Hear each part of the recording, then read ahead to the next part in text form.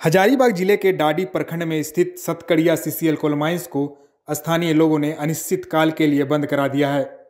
ग्रामीणों का कहना है कि जब तक सीसीएल रायतों की मांगे पूरी नहीं करती है, तब तक सीसीएल का चक्का जाम रहेगा एवं सभी कार्यों को ठप किया जाएगा, जिसकी क्षतिपूर्ति की ज़िम्मेदारी सीसीएल प्रबंधन की होगी।